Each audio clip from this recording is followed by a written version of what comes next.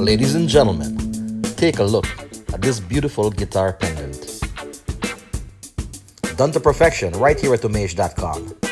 Check it out guys, every detail, every angle, every dimension, properly calculated.